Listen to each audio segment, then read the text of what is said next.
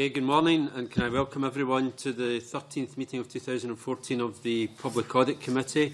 Um, and can I welcome the Auditor General, uh, Gordon Smale and Angela Cullen from Audit Scotland. Um, item 1, can we agree to take item 5 in private?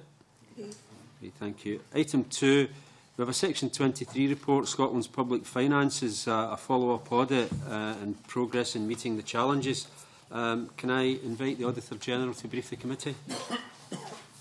Lena. The report I'm bringing before the committee today is the third in a series of reports on Scotland's public finances, and it's a follow-up of our 2011 report, which was focused on addressing the challenges.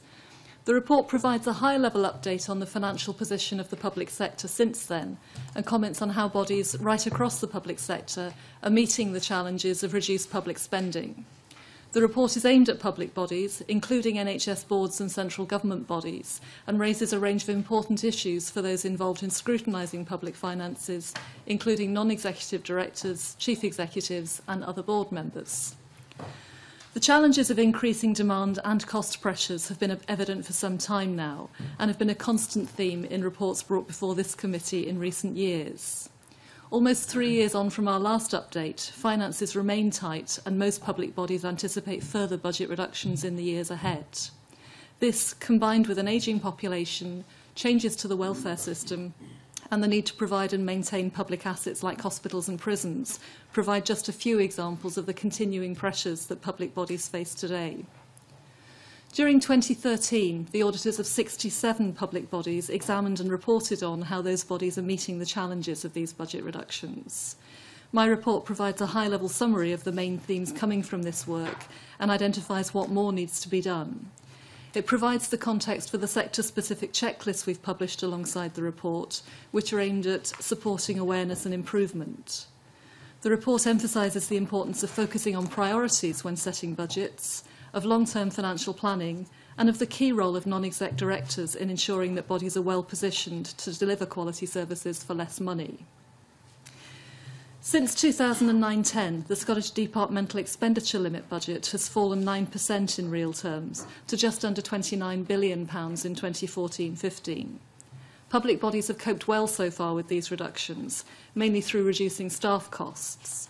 But with further reductions expected, measures like that aren't sustainable, and public bodies face increasingly difficult choices in reducing spending while maintaining quality and meeting rising demand.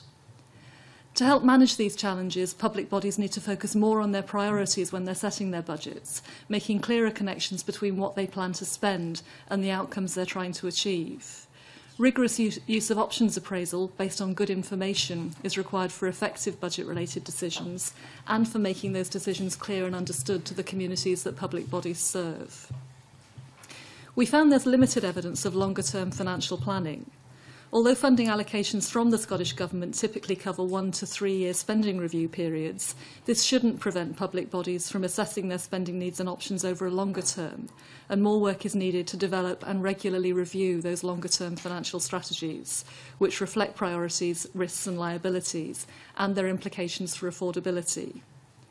My report also emphasises the crucial role played by non-executive directors in ensuring public bodies are well positioned to deliver quality services with less money.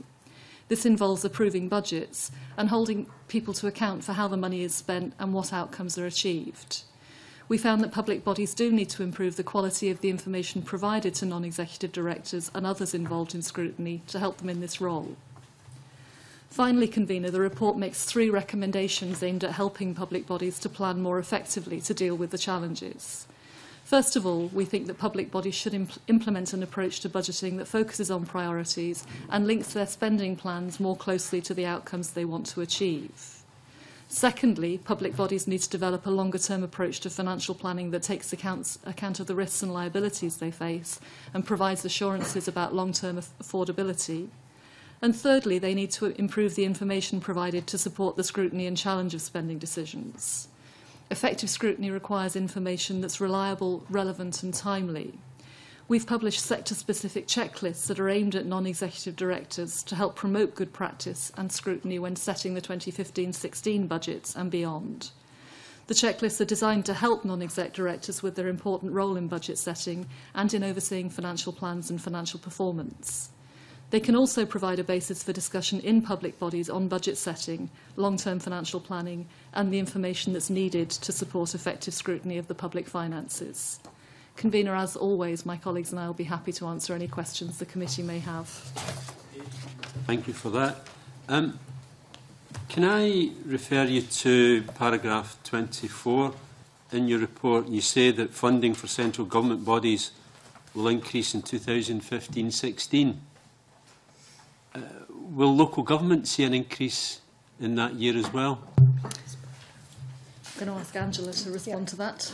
Um, in the previous uh, couple of paragraphs in 22 and 23, we talk about health and local government. So actually in paragraph 23, local government budget um, from the government is like uh, is due to decrease by 1% in 1516, as yeah. is the health service. So central government bodies will see an increase, but local government, which delivers the services, will actually see a decrease. Is that right? That's right. Right. So what, what we see here is more pressure on those that are actually delivering the services uh, in some respect than on those who are kind of planning and coordinating at uh, a central government level. Now, I- I, I don't know about other members, but I certainly know in my area, you know, councils, uh, the councils really, two councils are struggling to maintain services at the, the current level. Um, and I'm not sure how, you know, how much longer that can go on without starting to impact on, on quality.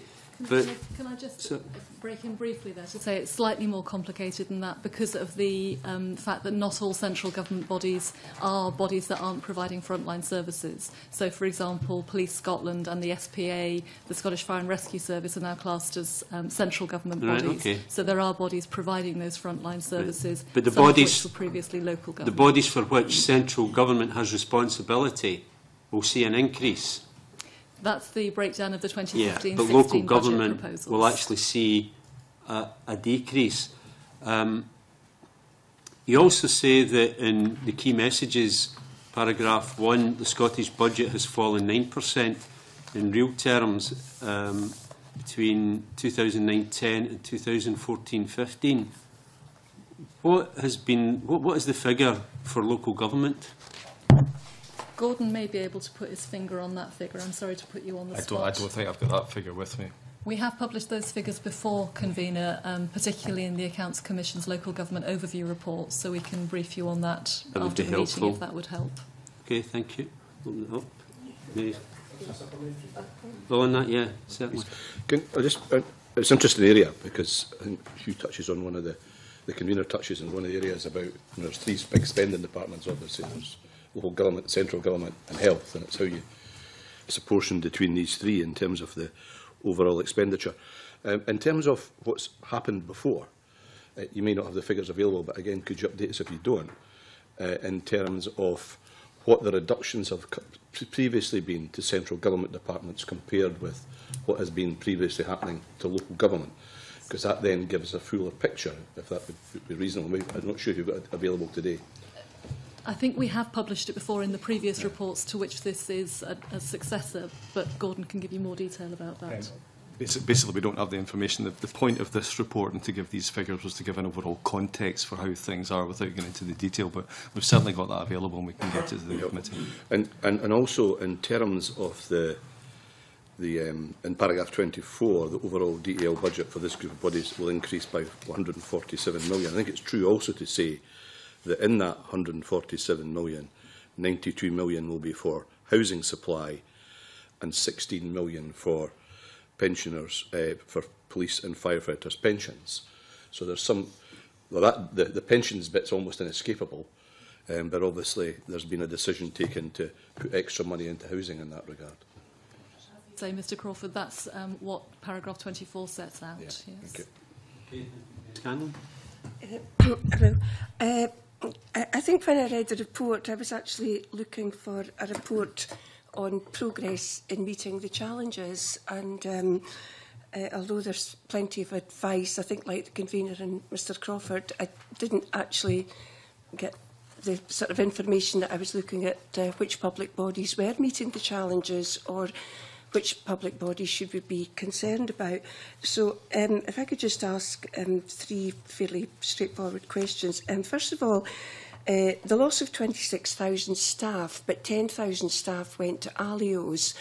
Um, I know that obviously when you're with a, an arm's length uh, external organisation, we don't have any responsibility for the service. But is there anything more that you can tell us about the 10,000 staff that went there? Was it mainly providing local authority services?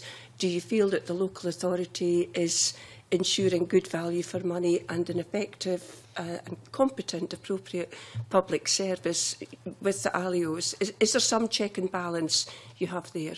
I'll ask Gordon in a moment There's no the, information about it. to ask, answer the specifics on ALEOs. It's an area that's been of interest to the committee over a long period, Yeah, we know, that. so we'll pick that up. You're right that the report doesn't focus on individual bodies. We No. tend to do that through either the sector-specific reports on the NHS um, that you see every year or the reports on local government that the Accounts Commission publishes, which you're being briefed on, I think, in a couple of weeks' time. What we try to do here is to step back and look at the bigger picture, um, and we hope that is of value to the public bodies. Gordon, could you pick up the Alias question, yeah. please? Um, I think it's worthwhile, uh, as Caroline's saying, when we're uh, painting the context for public finances, we refer to the staff reductions because there, there, are re other references through the report. In terms of the specific question of the 10,000, uh, uh, the vast majority of these people will be involved in council-related services such as home care for older people. Uh, and the other big area, of course, is the leisure trusts that have been set up to deliver leisure services by councils. So the people are still involved in public services in that way, but through a different delivery model. Um, and the, uh, the committee has had an interest before. We're coming back in a couple of weeks with the local government overview report, which does refer to ALIOS in quite a lot of detail. And there are some very important issues in there in terms of governance and how councils ensure that they not only um, the, the money they provide to ALIAs is used properly, but they also get value for money from that from that money. So our view would be, regardless of how that public pound spent, that there is value for money and that the money is used properly. So a paper is coming back to this committee with further details on Elliot? The, the, account, the Accounts Commission does an annual overview report and okay. in two weeks' time we'll be here to give you a briefing on that report. In the background, Audit Scotland's doing some further work in Alios. There's a lot of interest from, from yourselves and, and, and, other, and other interested parties in Alios because it's become such a large part of the local government landscape in recent years. And there are a whole number of issues and concerns that people have.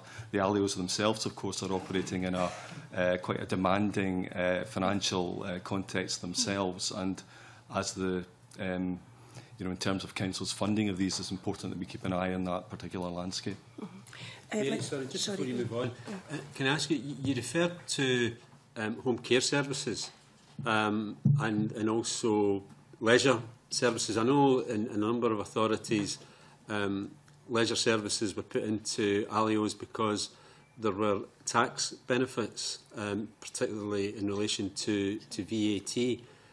Is that the case with the home care services as well? don't know off the top of my head, convener.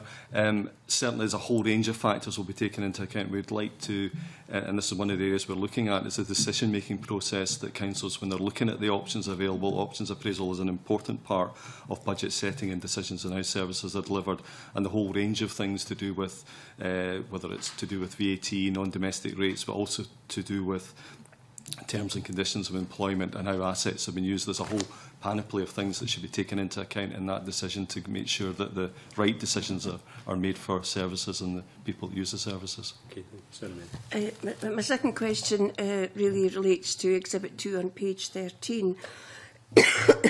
in this committee in the past, we did uh, get figures on the backlog maintenance requirement for the NHS. Uh, and I appreciate that it falls into several categories, um, high priority, low priority and uh, wished for in the future. Uh, but you've given uh, a figure here of 858 million pounds. I think the last time it was over a billion, but it would be helpful that that figure doesn't really mean a lot unless it's saying this hospital is at the stage that there are health and safety issues. This is high priority. So, convener, I would find it helpful to get a, a little bit more background if you had it. But the second figure is probably one that I was not familiar with. You've given Scotland's local roads need repairs. A third of Scotland's local roads need repairs. 6% of these are categorised as high priority. Now, you know, is there a figure for 6%? That 6% doesn't really mean anything to me. What are we talking about in money terms? If it's a high priority, uh, I am aware that figures came out recently that motorists had been uh, paid compensation for local authority, from local authorities uh, due to the potholes, etc. So it would seem to me rather than paying compensation, it would be better to invest the money in the roads. Uh, is there a figure for that? Uh, There are um, up-to-date figures on both of those, Ms Scanlon. They're, they're, here for context to give an indication of the scale of the pressures facing the public yeah. finances as a whole. On the NHS maintenance backlog, you'll be seeing the updated figures in our report on the NHS financial performance due to be published in October, which will contain the usual detail by health board and by category of right. need. On um, the roads maintenance, the Accounts Commission published a report probably 12 months ago, I think, which did include the same sort of level of detail and very much made the point about the importance of investing now to avoid expenditure both on um, negligence claims and injury claims, Yeah. but also on um, higher cost to put the roads back in the state they need to be in in future if they continue to deteriorate. Uh, Convener, ca- I I wonder, can I ask, uh, what does 6% equate to in terms of a budget required to meet this high priority Yeah. local road maintenance? How many millions is 6%? We can come back to you with that figure. It was published in the report on roads maintenance, and we can come back to you after the meeting with that. Right, um, I think I'll just leave it there. Okay, thank you. Um, Colin Beattie. Firstly, um, I welcome the comment from the Auditor General in paragraph 1 that public bodies have coped well with budget reductions and have maintained services during what is a very challenging period. And uh, you know that, that, that is to their credit. I wanted to look at a couple of things. One is uh, on page 13, Exhibit 2, under Financial. There is a comment at the bottom of that particular paragraph, but this is unlikely to be sustainable in the longer term.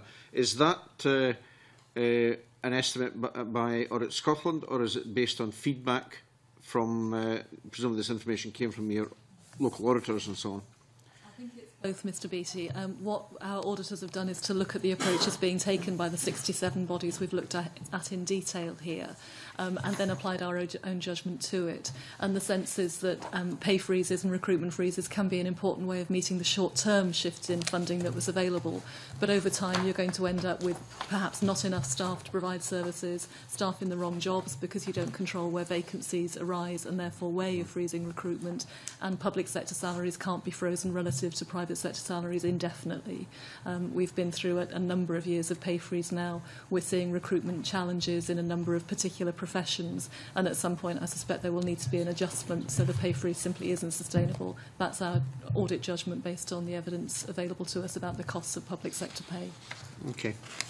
I'd like to move on to the question of uh, budgeting. And uh, you've made comments, for example, in paragraphs 34, 35, you're, you're encouraging uh, local authorities and local bodies to have budgets covering a five to ten year period. And again, on the previous page, in paragraph 31, you're talking about uh, priority-based approach to budgeting. Is there not a danger in that? Um, if you look at paragraph 25, there's no indications beyond 2015-16 what might be the allocation of Scotland's budget. Therefore, the Scottish budget, the Scottish Government can't really give any steer as to what sort of budget is going to come to local government in that period. So if local government use a priority-based uh, approach, they could easily end up uh, making assumptions that might be quite dangerous into the future because there might not be the funding there to meet what they consider their priorities are.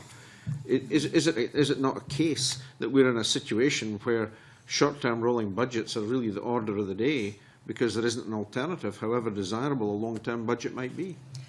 I think it's certainly the case that the further ahead you do your financial planning, the more uncertainty there is. There's no question about that. Um, the Scottish Government only knows its own allocations up to the financial year 2015-16. There are forecasts out there from different sources, more or less official, um, which are contested, as we all know. Um, but I don't think that's a reason for not looking at what the possible scenarios are and what options might be open to public bodies from the government outwards um, for managing their services against the background of the outcomes that they have committed themselves to achieving. Um, clearly, there are particular challenges at the moment given the um, the constitutional question that's open just now and the different proposals that are on the table um, from different parties in that. That uncertainty is another layer of difficulty in doing it. But in our view, in some ways, it makes it all the more important to be thinking about um, the, the big challenges we face with an ageing population, um, with the challenges of providing health and social care to older people, of making a step change in the environment for children growing up in Scotland through the early years priorities, um, to really think about how the finances could be used differently as we say in here, by looking at options for achieving the outcomes rather than just providing the services that would help us to get the best for the public money that is available. I also think it can be a very um, useful vehicle for engaging the public in different ways in those debates about the choices that will need to be made and the sort of public services we want to support um, Scotland after September, whatever the outcome of the referendum vote is. Because again, in paragraph 38, you're talking about scenario planning as part of long-term financial strategies, and that, that means making all sorts of different assumptions about possible income. I mean, there, there are a multiplicity of choices, and at the end of the day, if you've got a multiplicity of choices, which scenario are you actually going to base your, fu your future on? I think the bodies that do this well pick a, a limited number of scenarios um, based on uh, both the amount of uh, money they expect to have available to spend and features in the environment like the change in the population, um, the uh, uh, commitments that might be made for particular policy areas, and then work through a range of um, what might happen in each of those scenarios where the range of uncertainty gets bigger as time gets further out. Now, they're not the same as setting budgets, but they are useful ways of informing this year's budget setting and making sure the decisions being taken now don't make it more difficult to do what's required in the longer term rather than paving the way for the sorts of changes that are likely to be needed. I'm just a little bit concerned at the, the number of options you're opening up to councils and that here. I mean, you, you're talking about zero-based budgeting, you're talking about priority-based budgeting, you're talking about scenario planning, all based. There are some things that you've touched on there that can be validly quantified. You can say that there's going to be a population increase because of X, Y, Z. You can say that the number of elderly people are going to increase, therefore there's going to be pressures on that part of the budget. But, there's but the big uncertainty is the central budget. Nobody knows what that's going to be, except that, it, that it's, it's, uh, it seems to be getting cut every year, and there's the prospect that it might continue beyond the next general election. And, you know, I just wonder the validity of a long-term financial strategy based on such a, a big uncertainty as to the major part of the funding. I think I'd say two things, Mr. Beattie. The first is that we're not pr- promoting any single tool here. Um, we're saying that budgeting should be linked to priorities and outcomes. We're not promoting zero based budgeting or any of the other um, more formal approaches that have been um, piloted and, and promoted over the years. It's really much more saying if this is what you want to achieve, how would you um, allocate your money to best um, increase your chances of achieving that. And secondly, we fully recognise all of the uncertainty that exists in the public finances and especially in Scotland at the moment. Um, but in our view, the benefits of doing some of that longer term planning while recognising that uncertainty outweigh the risks of simply saying it, it's all too hard and we can't think about it at this stage. There has to be that um, recognition of the uncertainty and of a number of possible um, scenarios for the future. But the process of thinking about what that might mean for public services in an individual body and across the range of public bodies in Scotland, we think would have some real benefits. Is there not a danger that perhaps uh, the uh, local body might do uh, a long-term plan which takes into account their priorities and the perceived changes within their community and so on, and make an assumption that the money might be there to, to meet it? I think we wouldn't see that as being good long-term financial planning. Um, there are, as I've said, some forecasts, forecasts that are available heading up to 2018-19 at the moment.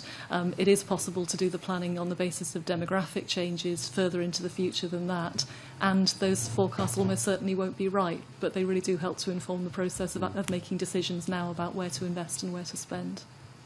I think it's a, a difficult subject at the moment. It is. Have you, Scott? Thank you. Can I just ask about your um, uh, expression in the key messages about there is limited evidence of longer term financial planning? What is that limited evidence, Auditor General? Are you able to draw that out for the committee? Yes, maybe to give you one example that we've reported on here before, which is about long-term financial planning in the health service. Um, at the moment, all of the health boards are required to have medium-term medium financial plans, which are generally looking three years out. Um, when we've looked at them in detail, we found that most of those plans are only detailed for the first year forward, and they, they become much more high level after that.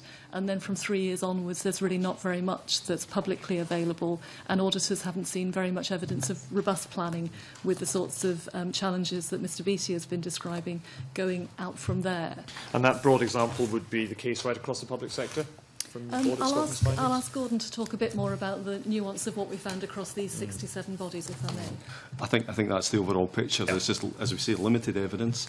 I think going back to the previous question as well, I think the fact that some uh, organisations are making headway in this is enough confidence that it can be done, albeit taking a number of factors into account. But certainly across the sectors, there's, there's pretty limited, ev limited evidence of that longer term planning beyond the kind of five to ten year timescale. Yeah, and, and Auditor General, you said quite intriguingly earlier on that the constitutional question was part of that uncertainty. Would you like to expand on that? I'm not sure there's much I can say that, that's not um, very present to, to all of you as elected representatives here. Um, but we know, first of all, that the um, Scotland Act will bring um, more exactly. variability yeah. in Scotland's public finances with, with the tax raising powers. Um, the uh, referendum question um, would give more flexibility again, um, both on tax and spend and potentially economic measures. And we're now seeing a range of other proposals coming through from the other parties, which would all have um, effects on both the spending yeah. and the income side of the equation. None of us knows what the no. effect of that so, will be. So you can hardly blame you can hardly blame Quangos and the public sector for being pretty cautious at the moment until this thing in September is mm. decided. I think caution is entirely appropriate, Absolutely. and we're certainly not saying that all of these um, long-term financial plans should be in the public domain. But the Mm. process of doing the planning, I think, does have a real value and can help to engage the public Mm-hmm. in some of the difficult choices we face about not just meeting the financial challenges, but also um, producing better public services that may involve losses for some people of services that they value. Yeah, okay, but when I met a quango boss, a Scottish quango boss last week, he said there was no financial planning going on in his organisation because he didn't know what they'd be doing after September. You can hardly blame him for it. It's just the reality of that organisation. I'm not going to name him because that'll be him out of a job tomorrow if I do, but, but, uh, but that's the reality for the, for the state at the moment. I, I would disagree that, the, that no financial planning can happen. Um, it seems to me that um, the, the things that we're seeing, likely to see over the next few years, are moving within a, a range of possibilities, as we've discussed. Yeah. Um, but the uh, the, the basic services that most public bodies provide will continue to be needed. Absolutely. The challenges that face them will continue whatever happens. And I think there is value in the process of thinking now about what the scenarios might Yeah. be and what options there are for meeting But there's them. very little evidence that's happening from your own evidence. That's what we found exactly. so far. Okay, thank you very much. I wanted to ask two specific questions. Um, the first is on the first bullet point in paragraph three of the report, if, at the end, in which Audit Scotland state vacancy rates for NHS staff were increasing and boards were spending more on agency staff and on private sector providers. I, I personally know that's true, but I just wonder if there's any detail that, if not today, you could provide for the committee, because that's quite a significant finding that Audit Scotland have, have pointed to there. Uh, we have reported on um, staffing levels, vacancy rates and other staffing factors in the NHS previously in our annual report on the NHS financial performance. The next report in that series is due for publication in October and we'll provide again an update on the But does that bullet point, uh, no, that's, I'm grateful for that. Does that bullet point point to an increase in use of private sector providers? Because that's how I'd re I read that sentence. It um, reflects what was uh, published in the report on NHS financial performance last autumn. Um, yeah. it's, it's not an update on that. No, We're still sure. in the process it's, of collating the most up-to-date yeah. information. Okay, that's fine. And the other one I wanted to ask was on page... Um, uh, was on uh, paragraph 20 in relation to the non-profit distribution uh, model. Uh, again, in the second bullet point here, it states uh, their effect is to create longer-term financial commitments and to reduce flexibility in how to reduce uh, and how future uh, revenue budgets can be used. Just in terms of Mr. Smail's answer earlier on, will when um, the Accounts Commission report to us in a couple of weeks' time, will they pick up that particular point in, in respect of in respect of uh, that finding that I've just quoted? I don't think it'll be very much more detail, but the point still stands. This is the point about just the, you know, having made decisions, and it ties back to the previous conversation about longer term planning, the implications of taking decisions today, looking ahead yeah, to budgets and lack of flexibility. So that the, the basic point is reflected in there. We don't we won't be including any more details, but when we drill down into the local government side of things in the overview, that's there is reference in there to the uh, implications for council budgets yeah. as part of that report, as you would expect. In, uh, no, that's very fair, and, and specifically there on on the Hubco model. Which uh, I've seen it in my own local authority area, there's a huge uh, commitment being now put on local government under this model, it's called, you know, this is the new name for something that's been going on for a long time. Is that, when are we going to see some figures on that and actually how much profit some of these organisations are being made? Because I've seen the management fees that are being levied now on local government for these services. You'll recall from the reports we produced last autumn on both developing financial reporting in Scotland and um, infrastructure investment that that question of um, both the transparency yeah. of uh, the revenue consequences of capital investment and the understanding of the financial sustainability are high priorities that we've recommended both government and public bodies should be focusing on. You'll get updates on that in various ways, but part of it will be included in, in our follow-up report on developing financial reporting later this year. Yeah. It's worth saying, I think, that, um, as we said before, um, financing capital investment through revenue methods is entirely appropriate in some instances. We all do it when we buy a house on a mortgage. Mm-hmm. But the, the questions of transparency and affordability, sustainability are both the important Oh, I ones that should be totally answered. agree with the principle of that. It's just the transparency doesn't exist at the moment. I find out more on this from talking to my local authority than I do from Parliament. I can't. I, mean, I'm, I just don't get answers on this in Parliament. So, will, when, when exactly will we get this transparency on? The um, follow-up that we're due to publish on the Scottish Government's financial reporting for the public sector as a whole is due before the end of this calendar year. Um, the, c- the local government aspects of that will come through the Accounts Commission's work All right, programme okay. in future. Many thanks. Thank you. Can I ask a supplementary? Well, well, well, just before you do, Colin, can I j- just ask on this? Um, the non-profit distribution um, model, which um, was mentioned, what's the, the typical length of contract or project that will be, you know, where money will be paid to the private developer?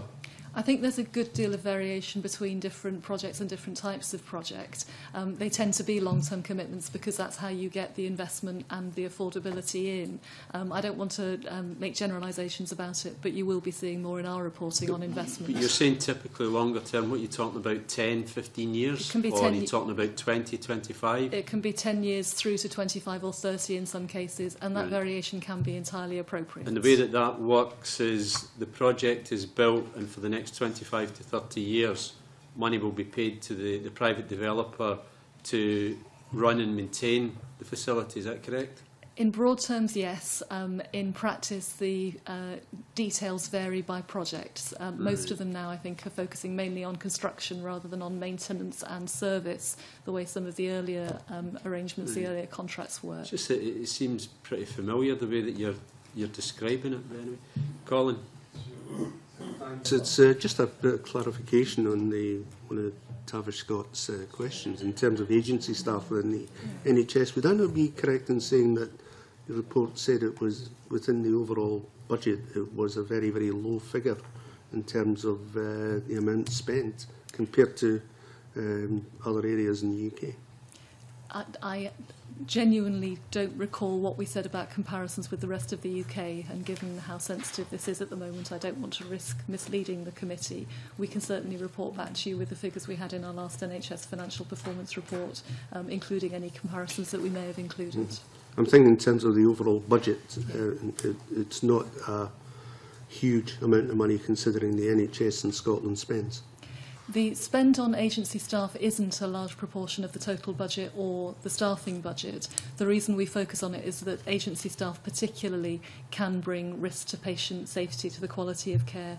Um, if the agency staff aren't properly familiar with the surroundings they're working in, with the hospital's um, processes for patient quality and safety, and they're generally recognised as being a less satisfactory alternative to bank staff or permanent staff. Right, thanks. Macintosh. Uh, thank you, Uh, a number of, of areas. Like to question uh, um, Auditor General if I can. The first is efficiency savings. Um, previously, when we've talked about th- this issue, the, the efficiency savings have been a mechanism used by local government and others uh, to address the cuts in budget. It's not really addressed in your report. Is that because it's not been happening or it's not successful, we can't measure it, or, or why? No, it's because I think, as um, Gordon said earlier, what we're trying to do here is something slightly different, which is to look at the um, underlying preparedness, um, the progress that public bodies are, mati- are making in meeting what looks as though, in any circumstances, will be continuing pressure on the public finances. And um, a lot of efficiency savings have been made. Some of the savings on staffing will fall into that category. Um, but in our view, they're not going to be um, sustainable for the long term if we're going to maintain uh, public services of the level that um, the uh, Scottish Government's committed to and to meet the challenges we know are coming with an ageing population and the other pressures we've referred to. So our focus is a bit different in this report. So you're suggesting that, um, I mean, should, should efficiency savings still be at the heart of um, public bodies' preparations, as it were? They're obviously still very important, and I think every public body um, should be doing what it can to identify where it can maintain the same level of service for less money or um, generally uh, make Mm. better use of the money it's spending. Um, certainly Audit Scotland's doing that, and many public bodies are doing it. And we think that that's not sufficient in, it's, in it, on its own. There's that real need to be looking more fundamentally at what outcomes public bodies are trying to achieve what resources are likely to be available and to, to do the longer term financial planning about how to square that circle in the longer term. But yes, efficiency savings are still part of the mix. They're just not enough in our view. And it it strikes me that most of the most of the savings you seem to identify, most of the savings seem to come from either reductions in uh, staff or uh, restrictions on pay. Um, first of all, is, is that fair? And, and secondly, paragraph three, you do flag up um, uh, in colleges uh, there's an 11% reduction in, in revenue and uh, colleges aim to reduce staff numbers. And paragraph four, public bodies will likely to need to make further workforce changes. So uh, are we going to expect further cuts in public sector workforce? I, I think that's a very difficult question to answer. We have focused on the workforce here and in the previous work on workforce planning Mm. because staffing accounts for such a large part of public Mm. sector budgets. There's no question about that. And they're central to thinking about changing the way services are provided. Um, we have uh, collectively produced work in the past on um, things like procurement. Uh, the Accounts Commission is doing some work on that at the moment. Mhm. Um, the work on roads maintenance looked at the scope for getting savings out of the spend that we um, do on roads maintenance, so we're not ignoring those. Um, but staffing being such a large part of the budget and such a key part of the way most public services are provided, I think has been and will continue to be a focus for um, being able to rethink the way public services are provided to achieve the outcomes that are um, at the heart of government's national performance framework. Hmm. Does it, I mean, you've identified 26,000, more than 26,000 staff lost and 10,000 additionally transferred to ALEOs. Would it, would it not help to actually plan what further cuts are coming, or is that? I think the 26,600 includes the 10,000 transferred to Alios, first of all. Um, and yes, absolutely. I think at the heart of our recommendations here is that continuing to make um, short term annual cuts in budgets um, hmm. has been the focus so far. But we really do need to be making those longer-term financial plans, recognising the uncertainty that Mr Beattie rightly highlighted, but thinking about what the options are for achieving the outcomes and providing the services that are needed. Mm. And that does mean a step back from the annual planning cycle. And, and finally, um, turn to an issue that uh, raised by uh, Mary Scanlon and my colleagues. Um, as well as the Scottish Government's increasing reliance on PFI uh, to defer costs, um, there's an issue with the um, rising backlog of maintenance. Now, I was reading back um, in 2011, the previous, the predecessor report, uh, and, and your predecessor as Auditor General, he, he flagged up at the time, um, he said, uh, uh, talking about backlog of maintenance and repairs, he said, this is not just an accounting issue that we keep coming back to. In effect, what we are doing is using assets and depreciating their value. And quite frankly, some of them are getting past their usable condition. We are simply passing the problem on to future generations. It's an intergenerational transfer issue. And he, he gave some figures then. He said, uh, in the past we've talked about a 2.25 billion pound bill to eliminate the defects on Scottish roads. Um, 1.4 billion to remove the backlog of maintenance on council-owned assets, and 500 million on the NHS estate. And yours, so if the last of those 500 million on the NHS estate, that's now risen to 858 million, according to your figures. So am I right in thinking that this backlog is rising? Are we tackling it all? Are, are we actually just storing up future generational problems? I'll answer in general terms first before talking about the specific figures, um, and Gordon and Angela may want to chip in on those. In general terms, one of the reasons why we focus on the need to um, invest in and maintain public sector assets as one of the pressures is precisely because of that um, per perennial problem, that when finances are tight, it can be attractive to cut back on maintenance to keep frontline services running, um, and that can give you some short-term breathing space, but it's not a longer-term solution. We do need to make sure we're investing in the assets to make sure they remain fit for purpose and investing in new assets for new types of services. Um, you're talking later, later this morning about reshaping care for older people. That may well mean less reliance on beds in acute hospitals and more reliance on either different types of assets or different types of services. So again, that need to be doing the longer term planning we think is very important. Um, I don't have the specific figures that you quoted there in front of me. Um, I do know that the um, NHS figures we report annually in the NHS Financial Performance Report, and I think the latest figures are showing a slight reduction. The Accounts Commission has been focusing on the roads maintenance budget, um, and we may be able to give you some more information about those. They tend to be based on periodic surveys, though, rather than information which is uh, readily reported in the accounts. And it's another reason why that transparency and clarity about what the need is, we think, is so important. Gordon, would you like to add anything to that? Um, I don't think so, other than we've tried to, in, in, in bringing this report together and give that context for public finances they've, and to use the most up-to-date public information available on the assets. For example, the, the uh, maintenance backlog for NHS comes from a, a report on the annual state of NHS Scotland assets and facilities for 2013, published in December 13. So that's where that 858 figure comes from. I said earlier, we don't have the roads figure available, but we'll be able to provide it uh, based on the last survey that was carried out and drawing that information forward. But I think it's worth reflecting on that overall context. It's just one of a number of things that are really important in terms of uh, going ahead and intergenerational, intergenerational issues about that, but also about some of the other things that are intergenerational about decisions on how to fund assets going ahead uh, and not just about repairing them as well. Just to, to let you know, the figures I quoted came from the Auditor General in September mm. 2011, giving evidence to this committee.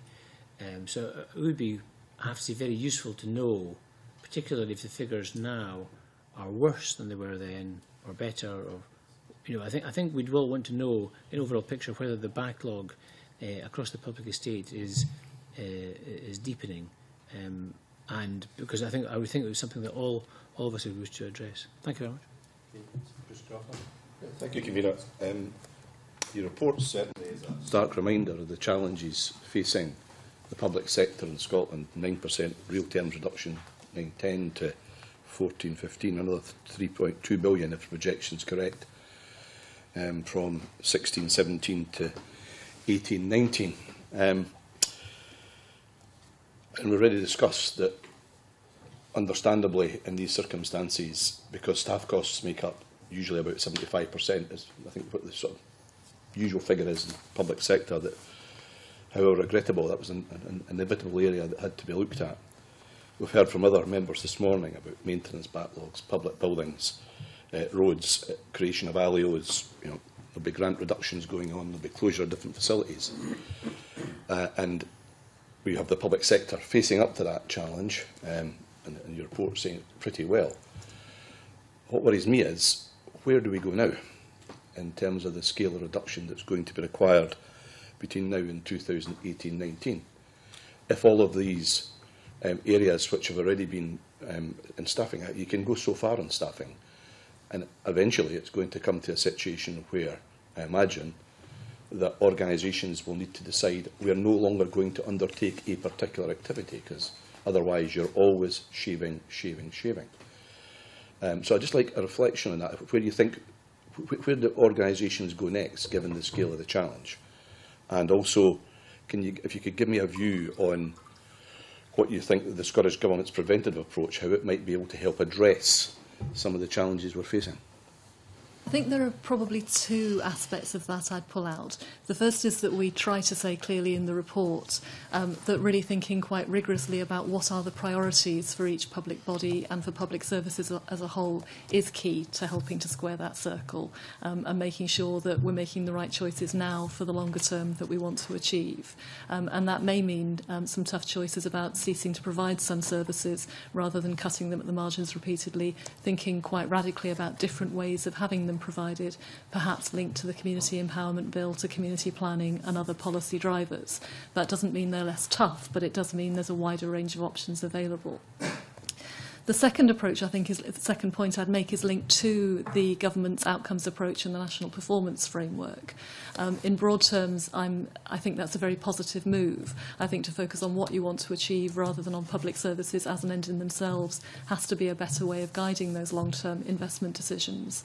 Um, but what we're seeing is that the financial planning that's happening in local public bodies isn't yet um, long-term enough to really help make the change that's needed in some areas. And I think the classic example is around reshaping care for older people, where we know that, um, first of all, practice varies a great deal across Scotland, um, but that there are still a lot of older people who are receiving care which is both um, not as good as it should be for them and more expensive than some of the alternatives might be if there aren't good alternatives to admission to acute hospital that would help them stay at home living good rewarding independent lives for as long as they can.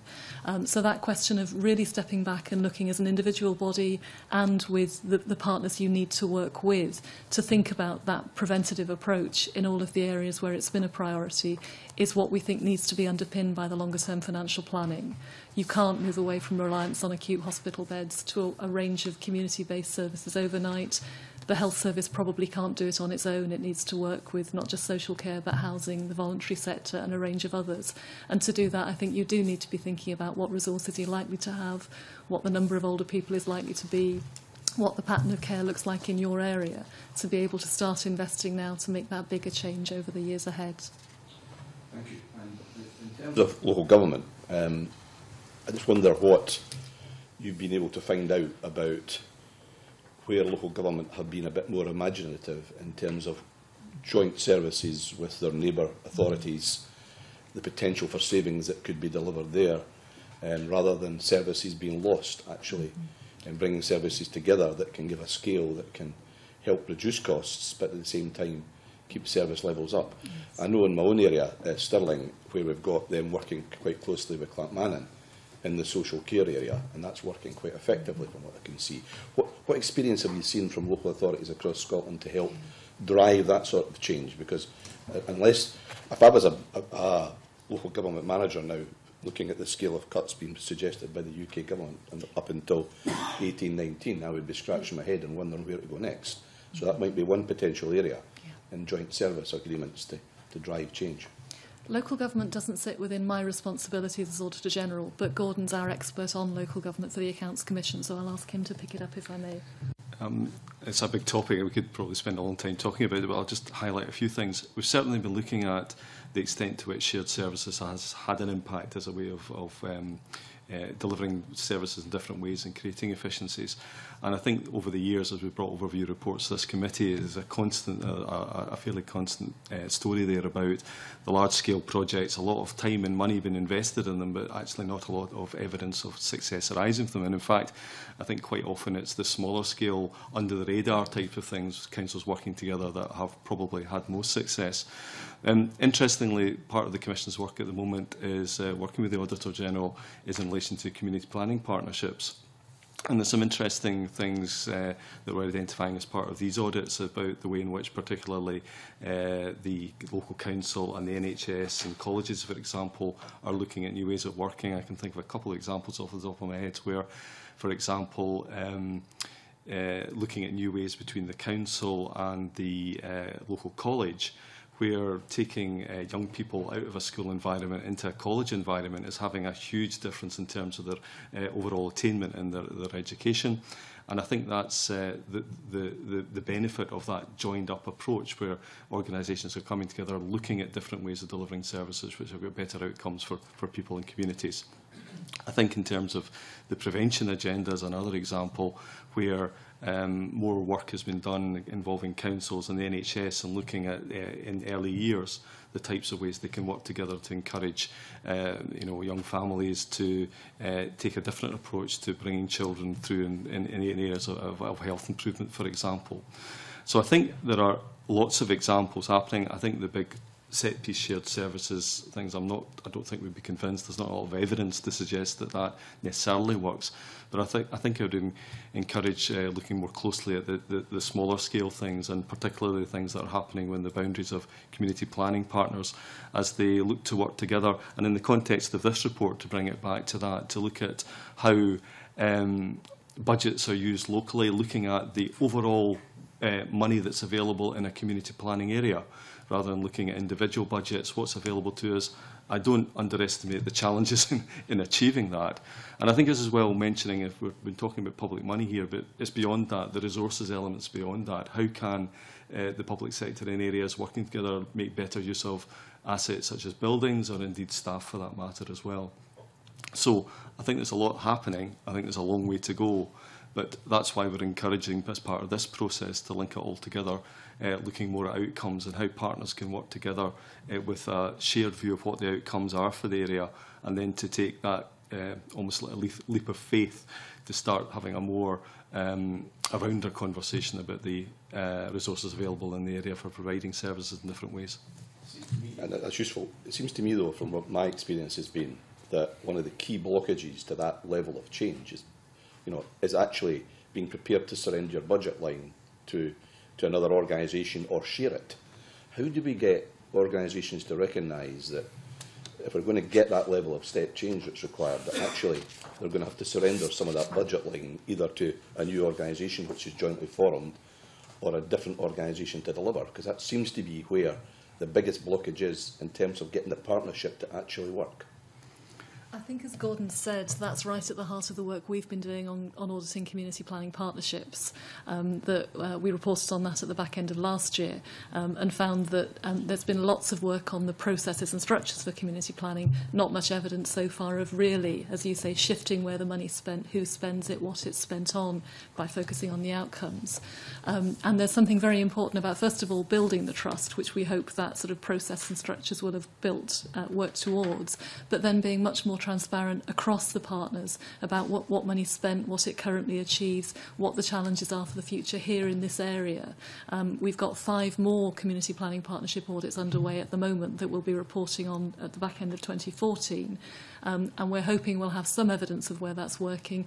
But as you say, it, it's a difficult thing for organisations to do and something that will be very important in this context given the continuing challenges you want to add to that, Gordon? Um, other than to just uh, emphasise, uh, we recognise it's not easy to do. I think it's been given quite a lot more leverage as well. If we look at the agreement in joint working and community planning and resourcing that COSLA and government signed uh, back in September last year, we certainly know from the community planning work that that is, um, if you like, in some ways forcing the issue locally. But I wouldn't underestimate the challenges. I mean, if I think of the one that I was recently involved in, um, you know, you've got councils, for example, setting budgets on the basis of uh, departmental and services, whereas health boards may be working on the basis of geographic areas, for example, in Forth Valley. So, you know, there's things. But I think there's a um, there's an imperative now, perhaps, that wasn't there in the past. Yeah, we moved a bit quicker. I remember when and Hugh remember this is all the convener when the Pathfinder authorities for partnership were set up in the 1990s. And at that stage, it was recognised that that was the big challenge mm. in terms of getting them to shift their budgets. And not really, not as much as improved or moved on as I would have liked. Sorry, can you just issue on capital? Um, uh, from your report, you, you tell us that we've seen a 29% reduction in capital 9-10 to 14-15, and, and there are obvious consequences for the economy in regard to what we're able to spend in general construction of um, public buildings or public works. But we, we don't have a projection as we, as we have for the Dell budget and what might be coming by way of further reductions in capital. Is that available? Gordon, do you know what we have got? C can we check it and come back to you, Mr Crawford? I don't want to mislead you. No, that there are different um, levels of detail available for the different lengths of projection. So we'll check that and come back to you if that would be helpful. I mean, uh, uh, Yes. set it in context alongside the DEL budget, given the scale of reduction there. Can I just tiny smaller thing, convener, if you don't mind, going back to Colin Beattie's points about long-term planning and using projections, which you have very usefully provided to us. If a local authority, for instance, was to take some of that projection and begin to build plans around it, uh, whilst I recognise fully that they've got to be involved in a longer-term financial planning process, I do have some concern that they start taking irrevocable decisions now based on projections of spend that they're not very sure are going to happen and may take decisions that, re- that um, reduce us a service in a particular area that actually doesn't come to pass in the longer term. So, uh, so it's that balance, I think, that Colin was talking about, without making the, a decision that's irrevocable early on, that can cause you know, significant harm um, further down the line. I, th- I think the challenge is that there is no risk-free option in this. That there's clearly uncertainty, no question about it. Whoever's forecast you believe, and however um, long you're prepared to, um, to to look at them, whatever longer periods you focus on. Um, you talked about the risk of cutting services unnecessarily, and there is a risk of that. Equally, there's a risk of um, recruiting staff or investing in assets that will have longer-term consequences. Um, making staff redundant, as well as being very bad for the individuals affected, does have a cost. Um, almost any investment in buildings and services will have things that are locked in for the long term. So what we're focusing on is not um, pretending that there is certainty where there isn't, but encouraging people to go through the process of thinking about what's most likely to happen, what options they've got available in their own organisation, and by thinking more widely with their partners and with their local community and voluntary sector partners. Thank you for your patience, Convener. Mr Smail, you mentioned an example of good practice of um, school pupils going into college. Uh, wh where is that happening? Um, it's uh, in Falkirk. We've, Falkirk. we published the Falkirk Community Planning Audit Report at the end of May, so that's a public document. And I think we highlight in there as, as, uh, as a, an example of um, how partners working together to tackle problems or to look at new ways of doing things have uh, worked. Okay, thank you. Um, Willie Coffey? Um, Auditor General, you, you've told us or reminded us in your report that uh, the Scottish budget has been has already been cut by about three billion pounds to date, and and for me the the key paragraph in your report is paragraph 25, that tells us if if things stay the same after this thing in September that Tavish Scott referred to, Scotland can look forward to a further budget cut of potentially three 3.2 billion pounds. Is that is that correct? That figure? Um, the figures that we have in here are extrapolating the OBR forecast to 2018-19 into the Scottish budget for, for those three years beyond 15-16. So if things stay the same after the thing in September, we could be looking at a further 3.2 billion pounds worth of cuts to the Scottish budget. I mean that's pretty big writing in anybody's wall, would you expect public sector managers, wherever they are in Scotland, to be to be sitting on their hands talking about uncertainty, given a potential scenario like that, and should be planning for that possible eventuality? I think the key words in your question were the words could be. These are forecasts, and we know that forecasts are only that. They're not um, descriptions of the future, they're an investigation of the future. Um, we also know that over and above these figures, there's the uncertainty we referred to further about the outcome of the referendum and either independence or the potential for further devolution And we have the um, implementation of the Scotland Act starting next April that will give some tax raising powers to the Parliament. But in general terms, I agree with you absolutely. The reason for making our recommendation is that we think all public sector leaders and managers should be going through the process of thinking what might happen, not just to the budget, but also to demand for their services and different ways of meeting that demand and achieving the outcomes that we're committed to as a, as a country. Yeah, th thanks for that. In, in terms of um, good practice around Scotland, and Bruce Crawford led us along that road to that discussion. You've, you've cited a couple of good examples, I think Edinburgh and Fife, where some good work has been taking place and some savings have been achieved. I can add to that a convener from my own authority in East Ayrshire who have, have uh, merged their road service department with South Ayrshire Council and are hoping to save about £8 million or so over period of 10 years. Now, we could argue, convener, that that could happen, that, that work could have happened anyway. Or was it really driven by this cuts agenda? You could argue on either side of that, but nevertheless, it is taking place and, and it seems to be paying some early dividends for us in Ayrshire. Your checklist that you referred to in your report, are you finding that the local authorities are embracing that and using that to achieve these kinds of partnership uh, relationships and these kinds of financial gains that we, we clearly have to, to make over the coming years? One of the great things about our work is that we do come across examples of good practice and real improvement all over the place in everything we do, and we try to reflect that in our work. We have made that move that you've referred to now of producing more guidance, checklists and other things for all public bodies to use, not just councils. Probably too early to say whether the ones that accompany this report are being used yet, but our local auditors do follow that up. And as part of our thinking in Audit Scotland about the um, future direction for public audit, I think we're recognising the scope for us to do more to help people learn from the good practice that we identify. So it's something we take very seriously. Gordon may be able to tell you a bit more about the way previous checklists have been used and what we know about that. Yeah, uh, we published this report just uh, last Thursday, and the checklists were published alongside. They're on our website uh, if, if, if, um, if you want to look at them. Um, I think this, we, we, had a long discussion internally about what you call these things, checklists, because on the one hand, we don't want people just simply to ground and think yes, no, that type of thing. But we we've put a wee bit of uh, context in front of the checklist. And what we're looking for is for people, to, for uh, councillors and non-executive directors to look to have that conversation within their organisation. So it's not just about running down what, do, what is my responsibility, but what's actually happening in the organisation. So we're saying, encouraging people, in the, they've got a key role in this, to ask themselves these questions, but also to have the discussions internally, and actually putting some onus as well on them to, if they don't know the answers, to go and find out, to ask. And if you look at the council one, for example, we're again flagging the key role that the proper officer for finance, the section 95 officer has, has in councils. So trying to encourage that dialogue. So it's not just about yes, no, but what evidence do I have as somebody that's got a key role in this, and where do I go to if I need more uh, information? And alongside that, just the, you know, the usual comments that we make, which are absolutely vital in areas like this, which are quite complex areas, to look at the training that's available. But I think, again, if I could uh, take that a stage further, it's not just about the availability of the training, it's the take-up as well.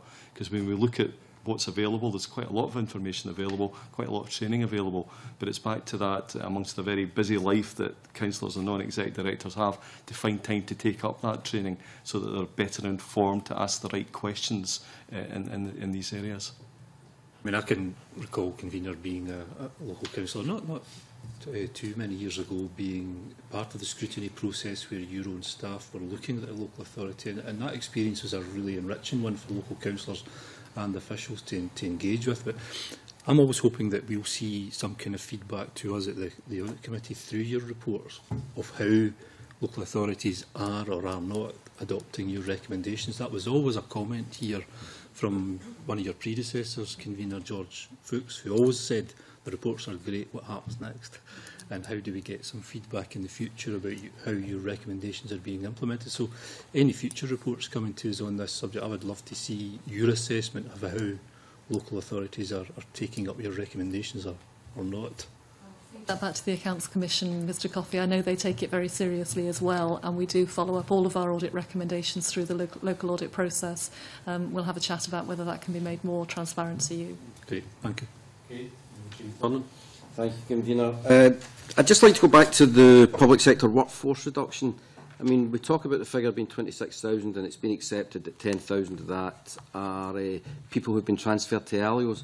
Would that not mean then that really the reduction in the workforce that deals with the, what was public sector uh, tasks is really, it's, a, it's more like a 4.5% cut than a 7% cut. understand why you have to report it as it is, but should there not be something in there that kind of puts it in context? That, because it suggests, for example, that, that you know, there's been a 7% cut in workforce would deal with the issues that the, the local authority families deal with, which in many cases, as has already been spoken about, it's been sort of like sporting venues and the, or the health venues, sorry, uh, and the home care, which are still being dealt with. Mm -hmm. They've just been dealt with with a different part of the, the family. Is there some way that we can, mm -hmm. we, we can report that clearly. I think we have made that clear in paragraph 26. We've included both the 26,600 and the 10,000 within that of people who were um, transferred to alios of various sorts.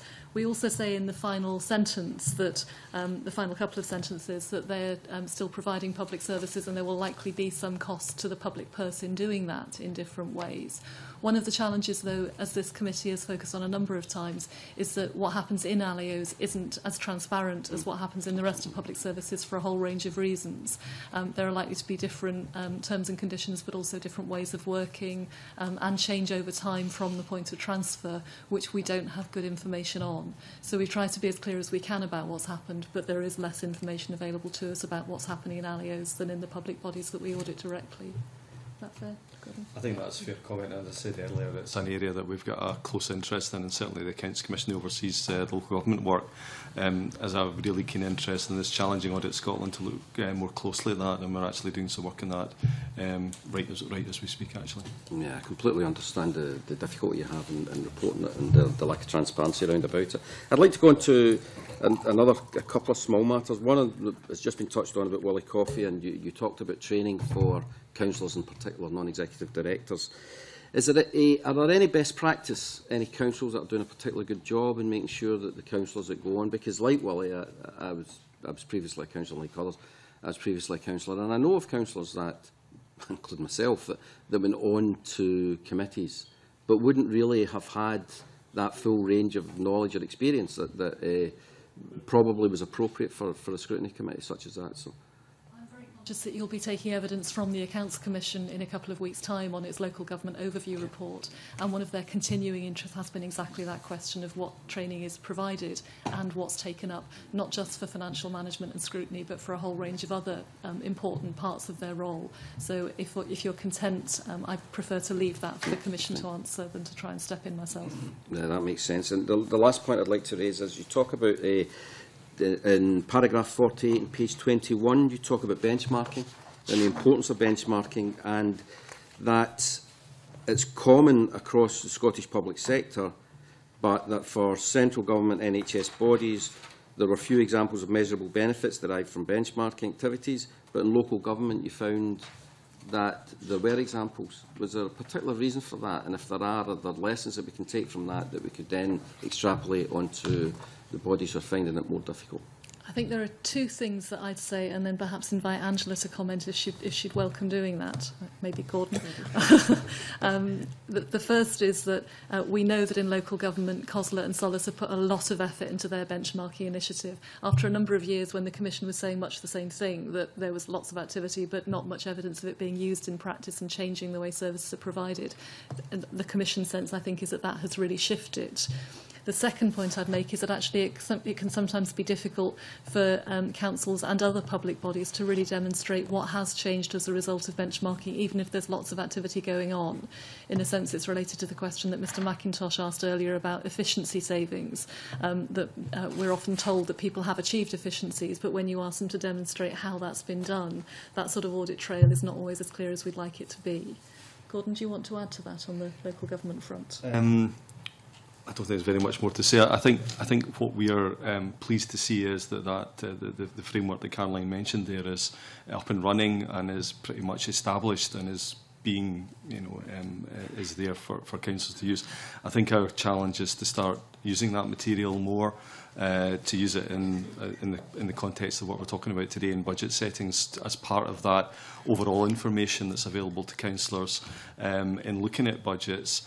Um, but also, I think importantly, we make uh, you know we, we, make quite a few references in here to options appraisal, so that benchmarking information is part of that overall package of things that's available to elected members when they have to take these difficult decisions and look at the options that are being presented to them. How are we comparing with other councils?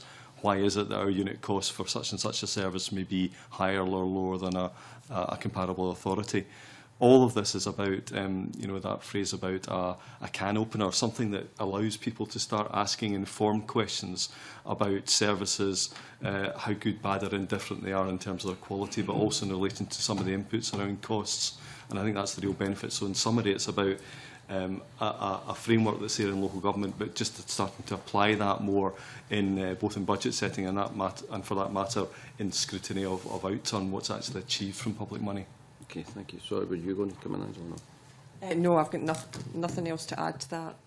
Just add then, I mean, uh, Auditor General, you said that uh, the local authorities as well as the others were struggling to, to highlight what benefits benchmarks give, gave them really. I mean, how they can prove that, although they say that the benchmarks are working, but they, they can't really show the benefit of that. If that's the case, then what is the point of it? Um, I I think what, what I was trying to say is what it says in the middle of paragraph 48 about auditors not finding very much um, evidence of demonstrable benefits coming from the benchmarking. Um, I'd agree wholeheartedly with what Gordon said about the information being a really important tool, both for the managers responsible for a service and for the councillors or the non-executive directors responsible for overseeing their performance and for making the longer-term decisions about where to spend public money. It's great information for saying why are we more expensive than the other councils or the other health boards in this area, drilling down and saying, is that because our costs are higher or because we're doing more of it, thinking about what it might mean for doing things better in future. It's really powerful information. What we're not seeing at the moment is good evidence of that audit trail that it's being used in that way to, to really produce measurable savings or improvements in quality. Can I just very quickly then just take you back to the, the very first question I asked then is why, I mean I accept that COSLA and Solace have, have done a lot of work on it, but why are the other departments uh, not getting the same success as the local authorities seem to be? I think the investment that local government made was significant and um, took a lot of time to get off the ground. I think you'll hear more about that from the Accounts Commission, and I think people in local government involved in it would say that there was a real investment needed to, to start having that impact. Um, we haven't seen the same focus in the other sectors, although there is some limited benchmarking that has gone on for particular types of services, particularly central services. What we're focusing on here, though, is the way in which that benchmarking is actually being used to make real changes um, and improve efficiency or improve quality. Could it have anything to do with the size of the organisations? But local authorities are kind of smaller and more manageable than I'm not sure that we've got any evidence to suggest that's the case. There clearly are some very big local authorities um, in Scotland as well as some very small ones, and the same is true for health boards, for example, as the obvious comparator. Okay, right. Yeah. Thanks very much. Sir. Just ask a question um, was raised about um, the workforce. You, you've looked at the reductions in local authority mm. uh, workforce, and you, you say that um, I think it was what was it, 10,000 staff were transferred across to ALEOs. Have you looked at how staffing levels in alios have gone over um, uh, the number of years? Because is there any guarantee that those who transferred across or the numbers who transferred across would still be employed or had, has there been reductions there as well?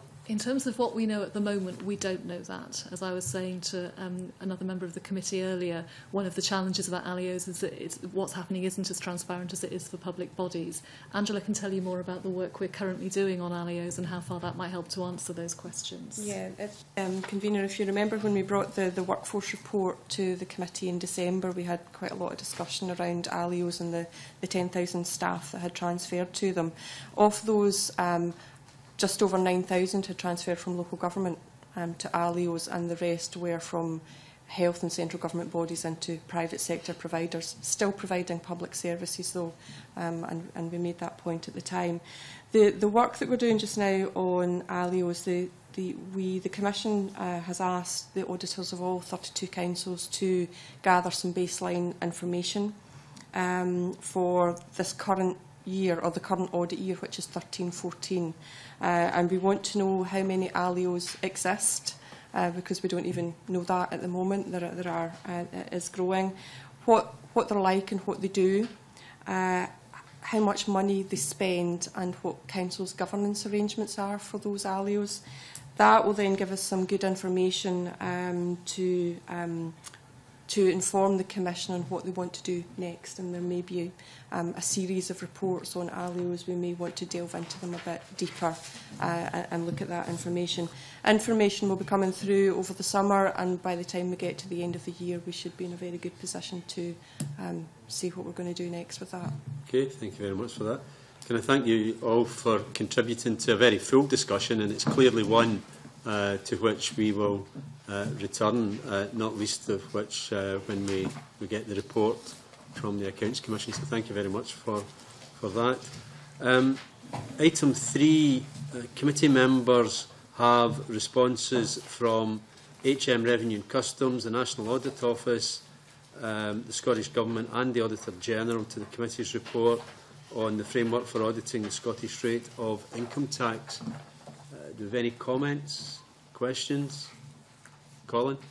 Just a sort of general comment that uh, there's still an awful lot of gaps in this. And, uh, you know, on, on page four, for example, that second paragraph where it says details of the enforcement and compliance regime are being developed further by HMRC, I think we need to come back to this because there's, there's gaps here in, in the assurances that we're getting.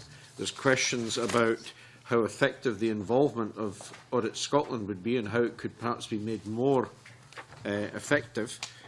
Uh, I think that I think there's still a lot of exploring to do to ensure that this committee is properly involved in the process. Uh, I still see some gaps there, and we need to we need to really come back. I would think I don't know maybe in a, it could be a year's time because this, this is Yeah. a couple of years off. No, um, yeah, well, you know that um, the, the, the NAO and HMRC first annual audit reports will be considered by the committee in mid-2015 and in summer 2015 um, the first NAO report on the implementation of Scottish rate of income tax will be laid in the Scottish Parliament. So I think that will give us the opportunity to come back and consider in more detail. It's whether there's anything committee members want to do at the moment other than note. Okay. No, it was a similar uh, comment. In, um, the uh, it, was really also just question in, the government's response, um, which is all, uh, which is fine, except that there's, it's lacking in detail. So it was really just to find out. I didn't understand whether or not we would get any of the detail before next year. For example, the very last, um, on page six of John Swinney's reply. Um, there's a he responds this is about um, uh, confirmation about um, use of the cash reserve included within the annual budget documents and he says we can confirm that the principle of these recommendations will be accommodated and that the practical arrangements for doing so are currently being discussed. So it's things like that. I really want to know, you know, the practical arrangements are actually what we want to know. Uh, I mean, I'm pleased he agrees with the principle, but uh, it's whether or not we will get this before um, the report itself in summer 2015, so I'd have thought we would have wanted to. Well, can, can we ask if there's any, we can ask the Scottish Government if there's any uh, plans to provide uh, more detail ahead of that and uh, as, as the report suggests, we will have the opportunity to come back to this next year. Yes. Well, just on that, though, the, the very first point, which was our, our question was uh, a clarification of how the, the Scottish Government intends to assess the effectiveness of compliance activities. Um, just my, my thought on that, clearly it, matters to them as much as it does to us, but uh, they're not going to do anything else other than just you know, ask them, monitor them, and rely on uh, the audit, uh, the National Audit Office, as far as I can see. Um, I wouldn't mind clarifying that. They're not, they're not commissioning any other work. Um, they're effectively relying on, on ongoing relations with the HMRC and uh, between government officials. Yes, except that not only the Scottish Government, but ourselves will Yeah, have the opportunity to look in more detail next year um, when the reports are, are laid. You know, as part of those questions, we can ask what ongoing work um, is being done, but I think next year uh, will be the key stage Yeah, ahead of once they're implementation in totally. 2016. Okay, so with you know the, the further clarification to be sought from the Scottish Government, can we agree to note that report? Okay, thank you. Um, item 4, um, Section 23 report, accident and emergency performance. Um, we have a, we've got correspondence from both Scottish Government and Audit Scotland uh, to the report. Any comments from committee members?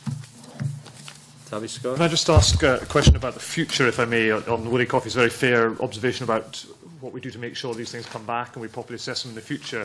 Um, there's a particular recommendation which Paul Gray in his correspondence deals with very sensibly and constructively on ensuring boards have access to benchmark information on staffing levels. Yesterday, um, Health Improvement Scotland were called in to look at uh, the uh, Forrester Hill, uh, Aberdeen Royal Infirmary. Now, for my part of the world, that's a massive issue, and I'm very pleased Health Improvement Scotland are going to be involved in that. But what worried me most, Kavita, on that one was it was staff uh, directly approaching central government, who then taken, in my view, a sensible decision to have that inquiry or have that uh, report, rather than it going through Grampian Health Board. And as the Auditor General and others we hear in front of us all the time, but they're always on at, uh, at us about governance. Well, clearly something went wrong there.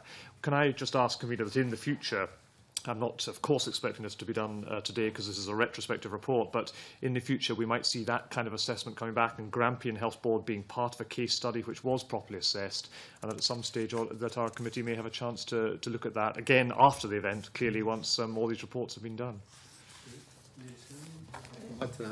Uh, uh, sorry, well, it was actually on Paul Gray's response, which I, I, I thought was very effective. I thought it was uh, pretty thorough and it certainly addressed many of the concerns the committee raised. But I was also drawn to uh, the benchmarking information and particular his uh, commitment to working with NHS and Scottish Government to ensure relevant information is available so boards can make informed decision on staffing levels and skill mix in A&E and that was basically what we had at the weekend from uh, Grampian so uh, I just wondered um, convener if we could consider taking further oral evidence on this, A, given the concerns that have arisen over the weekend, uh, but also that Paul Gray has committed to uh, bringing forward further data in September.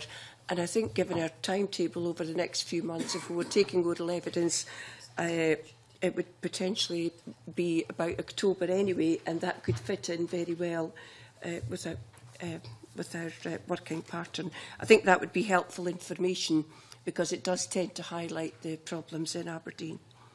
Okay, Ken I. Uh, yes, I, I was actually. I also thought it was a helpful response. Although the, the, the, it was the reply on uh, effective hospital discharge processes, which I wasn't entirely sure about, um, because he was saying it's agreed, but then he and he was saying that they've already got. He saying all hospitals have discharge processes, mm. and then he talked about a new model. So I wasn't quite sure. You know, if they've got discharge processes, then really we're asking, well, they've not been working. So um, what's changed here? So I really, I, I just wanted to explore. Um, Well, the, the, the question then would be, do we note or do we seek to invite further evidence? Well, like Mary, I, I think it would be welcome. I mean, it's, I think it's October, okay, November. Can we agree that we seek further evidence on this? And uh, can we agree to um, let the clerk come forward with some suggestions to us about witnesses? I wonder. Sorry, I, I, I thought we were just. I, I thought we were just going to take further evidence from Paul Gray. I thought that's what we were talking about. Well, you know, mention has been made. Tavish Scott has made mention of Grampian. Yeah. Um, so, you know, I think it would be useful if we could find out what is going on there, and there may be other areas, you know, as well as Paul Gray making a contribution. I think we need to find out from those on the, the front line. Okay. Just to be helpful, I'm not asking, uh, to, helpful to James, I'm not asking for us to do work prior to the Health Improvement Scotland report, because that's mm-hmm. clearly the right way to, for that to proceed. And I, but what I answered from the, from the um, statement by Grampian Health Board yesterday is that's due to finish this summer anyway, to be done this summer for obvious reasons. So I think if we were looking at October, that would seem entirely sensible. I agree that we should have evidence taken on this. I think it's right, as Mary suggested, we should wait till after the September so yeah. we can get an update on where we, on where we, where we currently are. There are two issues really going on here, though, aren't there? There's the overall issue about accident and emergency, which obviously um, Paul Gray would be very useful to come along and speak to us about where we've reached at that stage.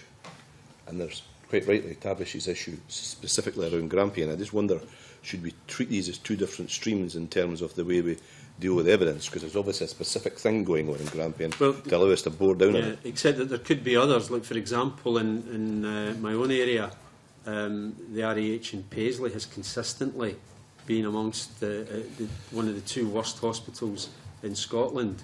Um, and, you know, we can't get to the, the bottom of that. So I think it would be useful to, to find out um, from these health boards you know, why are there problems with uh, accident and emergency in some areas which are significantly worse than others? Because others are, are actually doing pretty well. well maybe that's the key to this then, isn't it? Because Tayside are the place that seems to be, be the place that's doing yeah, well. Yes, Maybe we, we should be hearing yes, from Tayside about, exactly. about what they're doing differently. Totally. Yeah, I think that's, exactly no, I, I think that's, a, that's yeah. a sensible idea because I, th I think you know the point has been made on a number of occasions that you know we shouldn't just dwell mm -hmm. on the problems. That's right. We should look at the examples of good practice. So I think it would be useful. The agreement of the committee. Let's get those in who are doing it well and let's hear from those that seem to be struggling, and we can also hear from Paul Gray, is that agreed? I wasn't against the idea of the report of the No, no. evidence, it was just the fact Yeah. that I was confused. I thought that we were Yeah. talking about getting Paul no, Gray in from from- both So of is the that- previous that agreed? Yeah, Uh, that yes, to- Who do we agree? It's just, I'm new to this. Who do we agree specifically who, as a committee, specifically who's Well, getting invited? I will ask the I'll ask the clerk to the committee to circulate some suggestions, having listened to this discussion, and then the committee can, can decide. I think, From my taking, we've agreed that at some point Paul Gray should be invited to make a contribution. Your suggestion is that we should look at Tayside. Um, I, I'll talk to the clerk to consider whether, for example, Greater Glasgow, because of the problems uh, at the REH, um, and then there are issues in, in Grampian. Can, can I just make one other suggestion in terms of looking at that pool? One of the points I raised with Auditor General when we had this discussion about the report was the correlation between 999 calls and A&E e poor performance. So when we're looking at that pool of people we want to talk to, can we make sure that at least we've got one of these organisations in that has high 999s but not doing so well in A&E overall? I think Edinburgh right. is probably... Okay. The, the, yep, that's a useful suggestion. Okay, thanks very much for that. And with that, uh, we will move now into private session and we'll take a break.